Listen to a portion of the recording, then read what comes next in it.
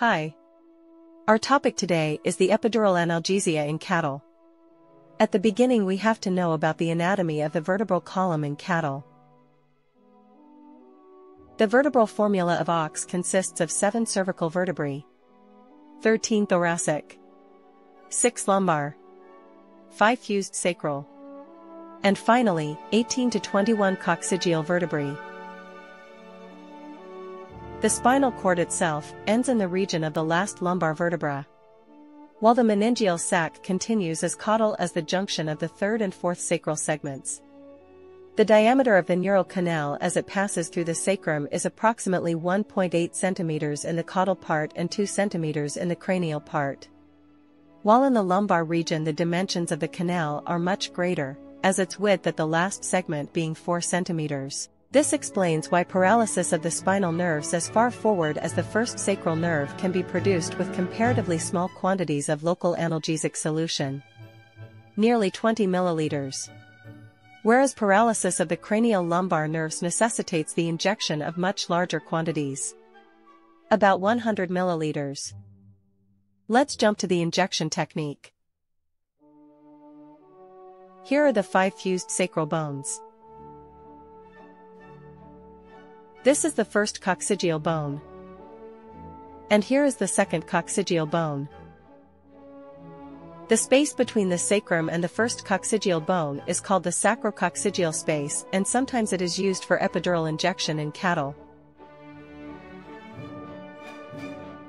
And this is the space between the first coccygeal and second coccygeal bones. It is called the first coccygeal space and it is the most popular site for epidural injection in cattle. The needle should be inserted either perpendicular or slightly directed forward. One drop of the analgesic solution is added, and the needle is advanced till suction starts. This suction by the epidural negative pressor is a sign that the needle is in the right place, and injection of the recommended dose can be continued. A dose of 1 ml of a 2% lidocaine per 100 kg body weight or 0.2 to 0.5 mg per kilogram is usually adequate to produce posterior epidural analgesia as the drug will spread forward in the sacral cavity and affect the terminal nerves of the spinal cord which are called the cauda equina and induce analgesia of the tail, anus, vulva and perineal region. Increasing the injected dose up to 100 to 150 milliliters for 500 kilograms cow will allow much more forward spreading of the analgesic drug, leading disturbance of motor function of the hind limbs and greater analgesic area that extends to the flanks and umbilicus. Let's see a clinical case. At the beginning detect the first intercoccygeal space and insert the needle.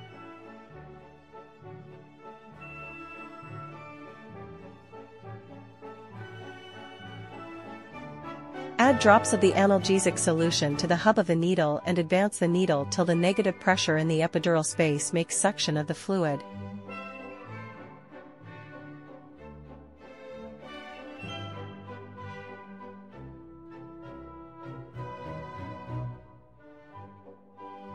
When suction is clear, start injection of the dose.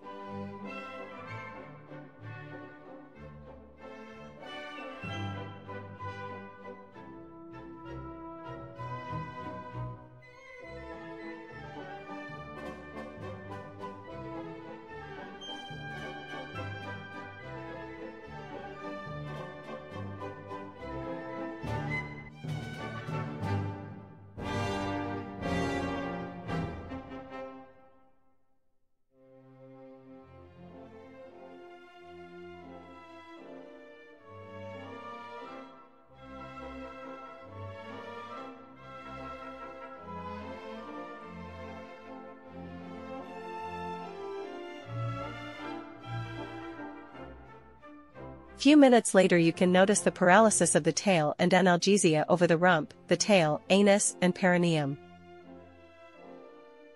Thanks for watching our channel. Best wishes.